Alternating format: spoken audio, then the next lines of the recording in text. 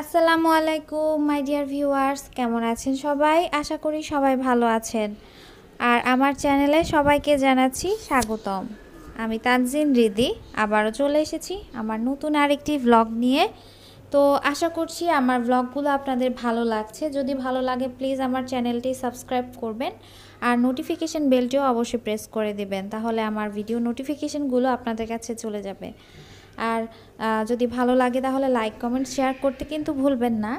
তো এখানে আমি কিছু আলু নিয়ে নিয়েছি। তো আজকে আমি আপনাদেরকে দেখাবো চিকেন সরি পটেটো ওয়েজেস বানানো রেসিপিটা তো আমি এখন ইফতারের জন্য আসলে অনেকক্ষণ প্রায় অনেকটা সময় হয়ে গেছে। আমি আজকে তেমন একটা সময় হাতে নেই আসলে, কারণ আমি একটু শপিং করতে গিয়েছিলাম। তো আস্তে আস্তে অনেকটাই লেট হয়ে গিয়েছে। তো আসার পরে তেমন কিছু বানানোর মতনও সময় নেই।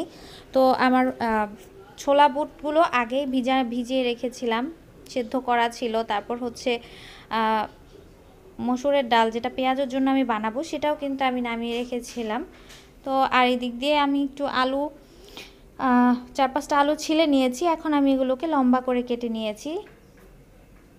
মাঝখানে দু ভাগ করে তারপর তিনটা ভাগ করে নিয়েছি তো এরকম শেপ হয়েছে তো আমার আলুগুলো একটু বেশি লম্বাটে ছিল, আসলে আর একটু ছোটো সাইজ হলে তাহলে দেখতে একটু সুন্দর লাগতো। তো এগুলোকে আমি এখন একটু ফ্রিজের ঠান্ডা, বরফ ঠান্ডা পানিতে আমি এগুলো ভিজিয়ে রাখব পনেরো থেকে বিশ মিনিটের মতন।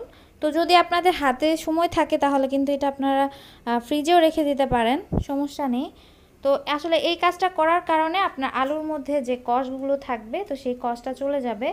তো এখন আমি পটেটো ওয়েজেসের যে ব্যাটারটা আছে সেটা রেডি করে নিচ্ছি। তো এখানে আমি এক কাপের মতো নিয়েছি ময়দা আর হচ্ছে তিন টেবিল চামচের মতো নিয়েছি কর্নফ্লাওয়ার আর এখানে দিয়েছি চাট মশলা, প্রায় এক চা চামচের মতন। আর হচ্ছে দিচ্ছি গোলমরিচের গুঁড়া, প্রায় হাফ চা চামচ। আর সরি এটা হচ্ছে অরিগ্যানো বা ইটালিয়ান হার্বস যেটাই আপনার ইচ্ছা হয় সেটাই দিতে পারেন। মিক্স হার্বস বা অথবা অরিগ্যানো এগুলো দিয়ে দিতে হবে এটার মধ্যে মাস্ট এখানে আমি একটু বিট লবণ দিচ্ছি। বিট লবণটা আসলে অপশনাল কিন্তু আমি দিচ্ছি। আমার কাছে ভালো লাগে আসলে বিট লবণের যে ফ্লেভারটা আছে, এটা আমার কাছে অনেক ভালো লাগে। তাই বিট লবণ দিয়েছি। তারপর দিচ্ছি গোলমরিচ প্রায় এক চা চামচের থেকে একটু কম। আর এখানে দিয়েছি আমি টালা জিরা গুঁড়া, হাফ চা চামচ। দিয়েছি লাল গুঁড়া মরিচ। আর এখানে আপনারা চাইলে কিন্তু হচ্ছে শুকনো মরিচের গুঁড়াটা বা চিলি ফ্লেক্সটাও দিতে পারেন। আর আমি লবণটা একটু পরিমাণ, অল্প পরিমাণে দিচ্ছি, কারণ হচ্ছে আমি বিট লবণ দিয়েছিলাম অনেকটাই। তো এখন আমি এই ব্যাটারটাকে পানি দিয়ে একটু একটু করে গুলিয়ে নিচ্ছি, কারণ এটা অনেক পাতলা একটা ব্যাটার হবে। খুব থিকও না, আবার খুব পাতলাও না। এরকম একটা কনসিস্টেন্সিসে থাকবে।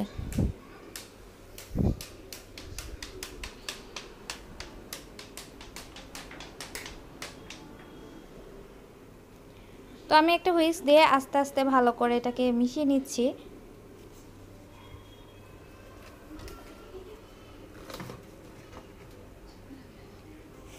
তো এটা আসলে হাত দিয়ে আমি করে নিচ্ছি, কারণ আমার মনে হচ্ছিল হাত দিয়ে সুবিধা হবে, তাই হাত দিয়ে করে নিচ্ছি।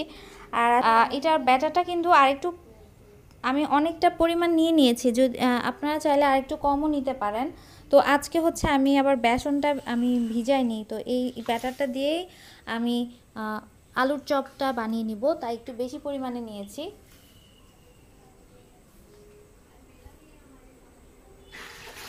তো এখন আমি একটা কড়াইয়ের মধ্যে ফুটন্ত গরম পানি চুলার উপরে কিন্তু দিয়েছি।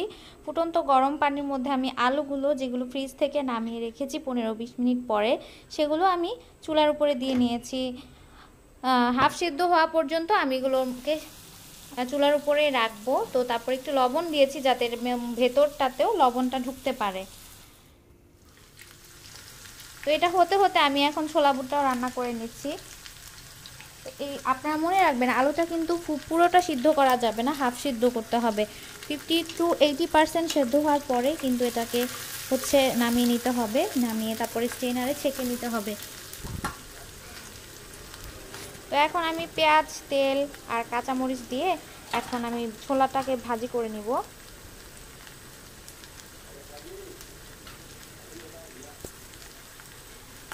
তো এখন এর মধ্যে আমি দু চা চামচের মতন দিয়েছি আদা বাটা আর দিচ্ছি একটা চামচ রসুন রসুন বাটা। তো আমি ছোলা বুটটা একটু বেশি করে রান্না করি যাতে আমার দু থেকে তিন দিন একেবারে অনায়াসে যায়, কারণ আমার হচ্ছে ছোট বাচ্চা, প্রত্যেক দিন ইফতারি বানানো আমার কাছে ঝামেলা মনে হয়। আর ওকে রেখে আসলে এই বিকেল টাইমটাতে কিচেনে রান্না বান্না করাও আমার জন্য অনেকটাই ঝামেলার ব্যাপার হয়। তো আমার পেঁয়াজটা একটু লাল হয়ে গেছে। এখন আমি এর মধ্যে একটু জিরা গুঁড়া আর হচ্ছে একটু হলুদের গুঁড়া দিয়েছি। এখন এটাকে ভালো করে কষিয়ে নিব। তো ছোলা বুটে কিন্তু আসলে গরম মশলার বাটা দিলে কিন্তু খেতে অনেক ভালো লাগে। গরুর মাংসের মতন ফ্লেভার হয়। তো- আমার কাছে নেই, তাই আমি গুঁড়া মশলাটাই ইউজ করছি। গরম মশলার গুঁড়াটা দিচ্ছি। তো আর একটু ভালো করে আমি মশলাটা কষিয়ে তারপরে এর মধ্যে একটু টমেটো কুচি দিয়ে দিব। তাহলে কিন্তু বুটে, ছোলা বুটের গ্রেভিটা অনেক সুন্দর হয়। টমেটোটা দেওয়ার কারণে।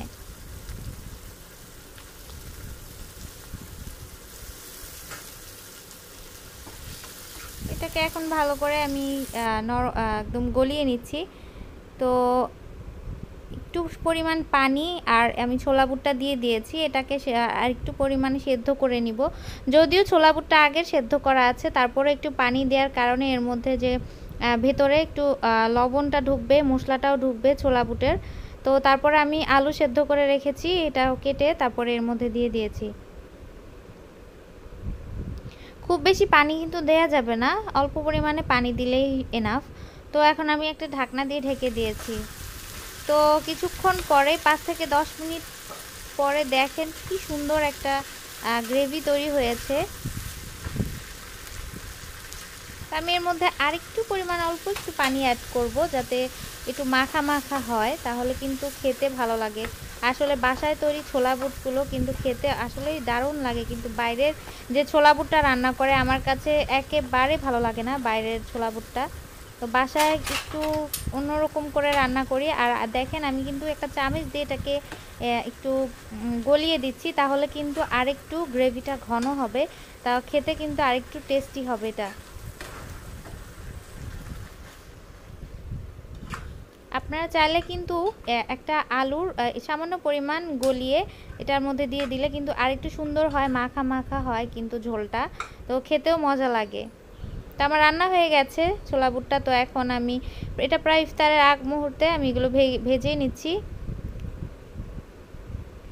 পেঁয়াজগুলো আমি এগুলো ফ্রিজে ছিল ডিপ ফ্রিজ করা ছিল, তো ফ্রোজেন করা ছিল, তো আমি এখন নামিয়ে জাস্ট এই সব কিছু মাখিয়ে এগুলোকে ভেজে নিচ্ছি।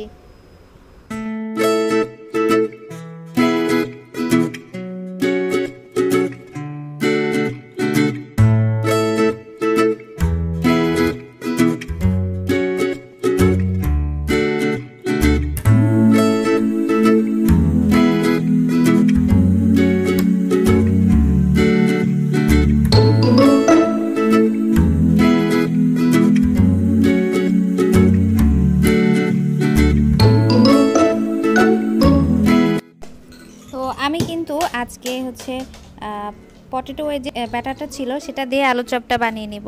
আজকে আর বেসনটা গলি নাই, গোলাই নাই। আর আজকে বেগুনিও ভাজবো না, কারণ আমার হাতে আজকে তেমন একটা সময় ছিল না।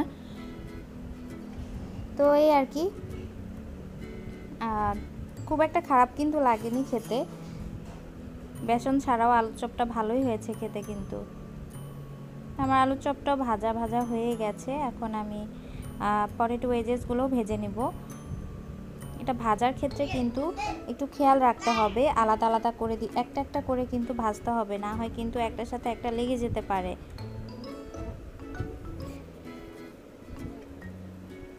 আমার আলু চপটা ভাজা হয়ে গেছে, এখন আমি এটা একটু পরে উঠিয়ে নিচ্ছি।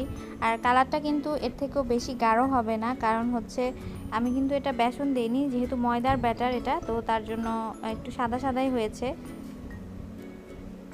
তো পটেটো ওয়েজেসগুলো দেখতেই পাচ্ছেন, আমি ভেজে নিচ্ছি, এগুলো কিন্তু একটা একটা করে ভাজতে হবে। মানে হচ্ছে বেগুনির মতন, যেভাবে একটা করে দিতে হয় সেভাবেই দেওয়া লাগবে, না হয় কিন্তু একসাথে মুট করে দিতে গেলে কিন্তু একটার সাথে একটা লেগে যাবে। আর এগুলো কিছুক্ষণ পরপর নাড়াচাড়া করতে হবে। তো দেখতেই পাচ্ছেন, দেখতেই বোঝা যাচ্ছে যেগুলো অনেকটাই ক্রিস্পি ক্রাঞ্চি হয়েছে। তো বাসা ট্রাই করে দেখবেন, এটা কিন্তু সস দিয়ে খেতে ভীষণ মজার। তো তৈরি হয়ে গেল আমার পটেটো ওয়েজেস আল্লাহ হাফেজ সবাই ভালো থাকবেন সুস্থ থাকবেন।